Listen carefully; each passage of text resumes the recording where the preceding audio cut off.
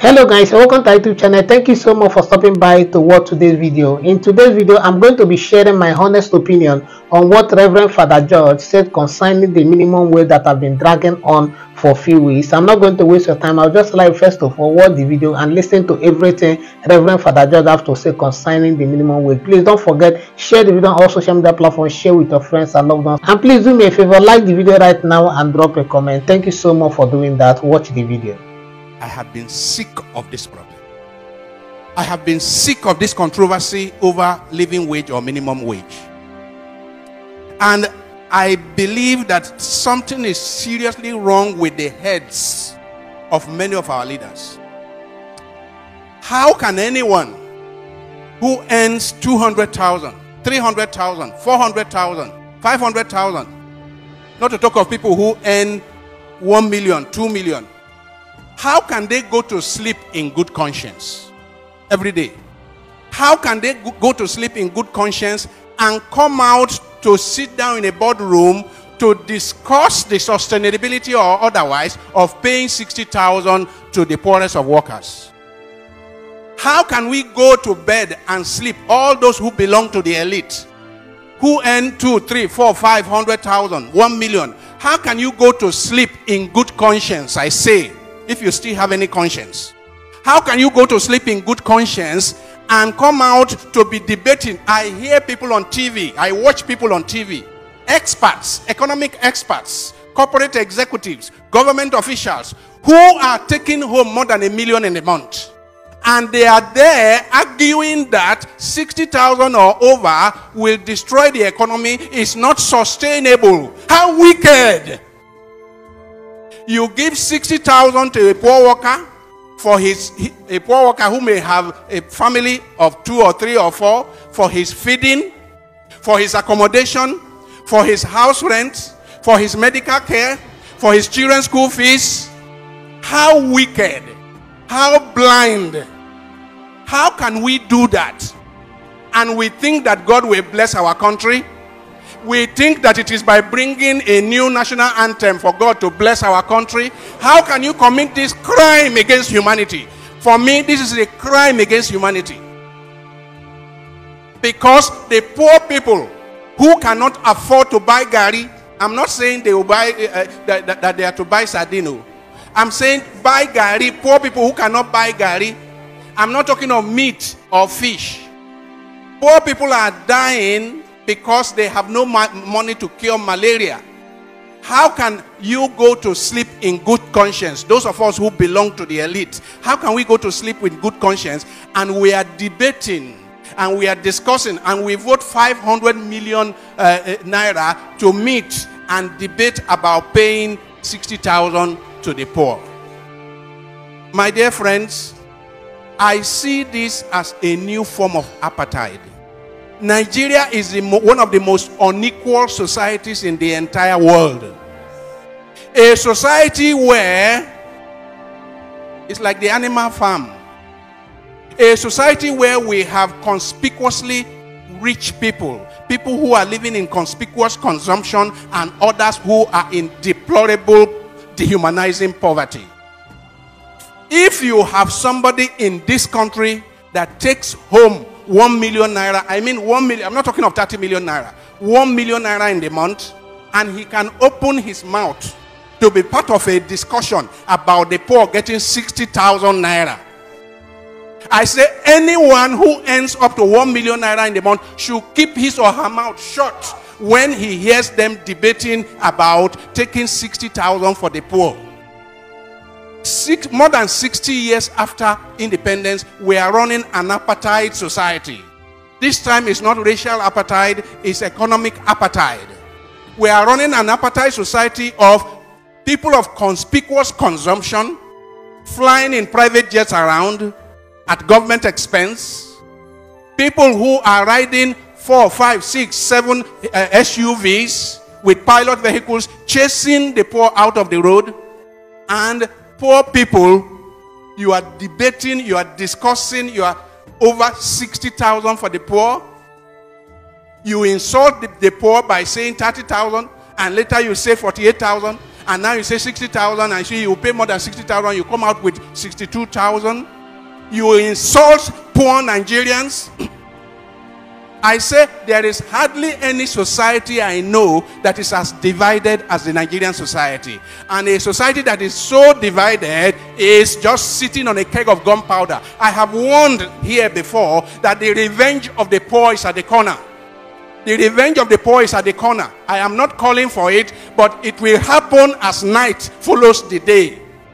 Because when you so reduce people, you reduce people to this dehumanizing level. Nature does not allow a situation of uh, uh, islands of affluence amidst a sea of poverty. Nature does not allow it.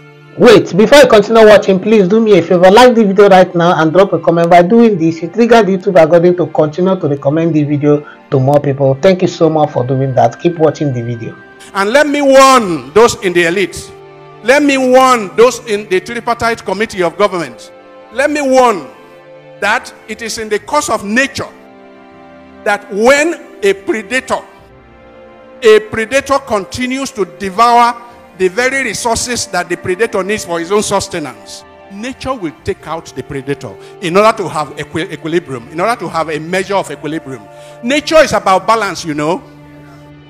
All of nature is about balance and human beings are part of nature and nigerians are part of nature if the predator who needs the animals in the kingdom, it needs the animals to survive, if it is recklessly devouring the very animals it needs for its own survival, survival, if it is devouring it recklessly and senselessly, nature will step in and remove the predator so that there can be balance in the system, in the ecosystem.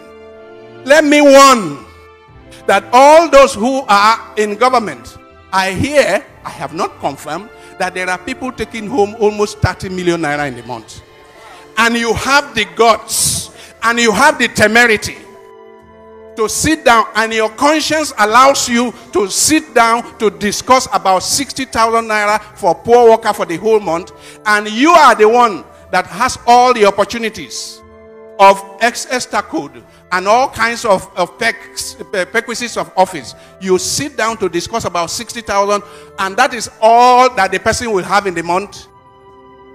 You sit down to discuss this and come out and say this is not sustainable. How is 30 million naira sustainable in that economy? How is it sustainable that the leader has 100 SUVs going with him to the airport? How is it sustainable? How is it sustainable that government leaders junket around the world? How is that sustainable? I say we are committing a crime against humanity. And if we do not repent and retrace our steps immediately, the revenge of the poor is at the corner. Do not hold me responsible. Because while the devastation was on, I did not keep quiet. Do not hold me responsible. Because while the madness was on, I did not sit on the fence. I kept on shouting that the revenge of the poor is at the corner unless we change our course. And if we do not change our course, we will end up where we are headed. And where we are headed is devastation, is destruction, is violent revolution. I rest my case. I'm sure you have heard everything Reverend Father George have to say concerning the minimum wage. You see, it saddens my heart that when we hear people speak like this, instead of us to pay attention and focus on the meaningful thing they are saying, we are focusing on things that don't really matter. I've heard some people condemning what the Reverend Father has said that uh, he, he should focus on preaching and all the rest. Listen, how are we going to make progress as a country, as a people, if we continue to think like this? People are fighting and battling so that their life can at least get to a certain level a level they deserve and we are there saying that uh, they, they, they, they should go and sit down sometimes i wonder how some of us in this country nigeria how we think it's like some of us who don't have conscience this is my honest opinion I, and i am not going to be biased about it I am not going to be biased. I don't hate uh, Tinubu. I don't hate uh, APC. I don't hate anybody. I don't believe in that party nonsense that some of you you put all your all your minds on that is making you think and reason the way you reason. I am not interested in all those party nonsense. it is so sad that if you go to the internet you'll be hearing people nigerians so that are going through what everybody is going through condemning what this man is saying. Well i'm not going to be looking at what some ignorant people have said concerning what reverend father george have said. I am going to just share my own honest opinion on everything he has said. Please before you continue watching don't forget like the video and drop a comment so youtube can continue to recommend the video to more people. God bless you as you do so. As you do so. What Reverend Father George have said for me, it is just perfect. It is everything that every sensible human being needs to hear. Every sensible human being will hear and clap for. But it is so sad that uh, because we are still uh, uh, dwelling on party, party, party, party this, party that. That is why we have a problem with everything he has said. For me, I don't have a problem with whatever he has said. Nigeria needs to get better, and if Nigeria must get better, we must learn as a people to learn how to speak the truth. He has said everything that we need to hear. A time will come when the people will not be able to take it anymore. They will no longer be interested in the nonsense that the politicians they are doing.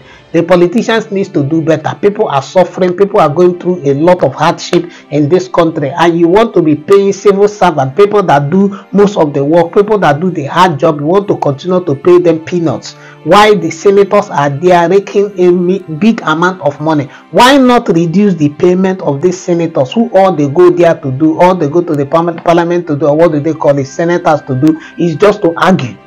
Talk say things that is not bringing any real progress in nigeria. Why? It doesn't make sense to me. And it is important that all nigerians start thinking in this light. Start being honest.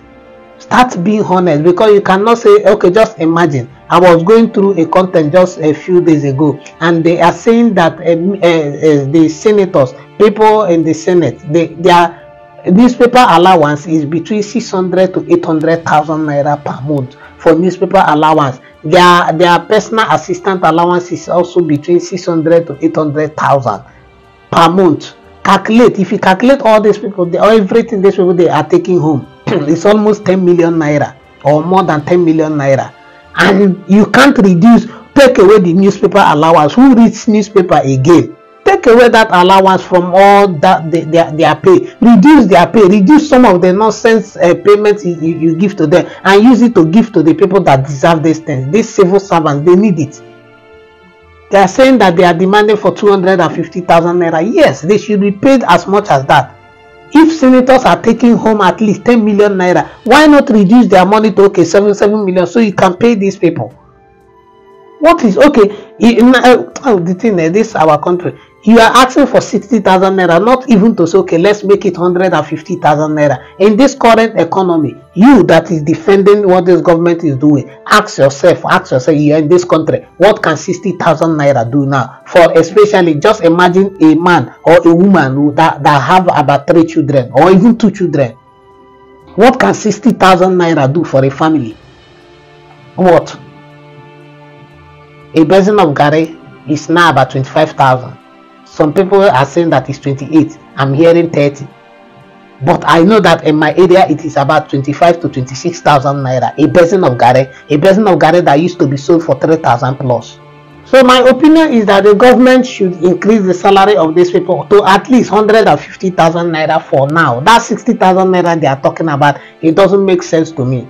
It does not make sense to me at all. So they should increase the money for them. They deserve it me i don't understand all this one. People are, are, are saying that uh, the thing i don't i don't even want to talk too much. They should increase the salary for the people. 150,000 naira minimum at least. That what is 60,000 naira? What can 60,000 naira do? If you buy one bag of uh, uh, gari uh, one basin of gari what about rice?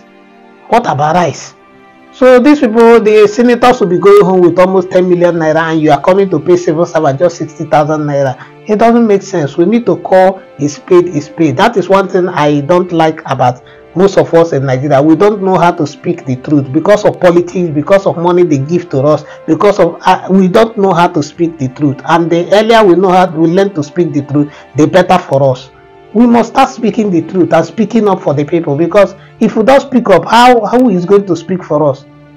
Who is going to speak for us? So please i want to urge the government to please give these people what they want. If you cannot give them the 250,000 naira i am hearing that they are asking for at least 150,000 naira will not be bad. It will not be bad at all. Please i urge the, the government to at least do that. That is my own honest uh, opinion. That is what i feel and that is what i think they should do. Thank you so much for watching the video. Please do well to subscribe to the channel. Turn on your notification bell. So whenever i post another video. You'll be notified. If you're a returning subscriber i want to say thank you to you. Thank you for always stopping by to watch our video. We love and appreciate the support uh, you give us on this channel. May god bless you. May god reward you. I'll see you in the next one. You are blessed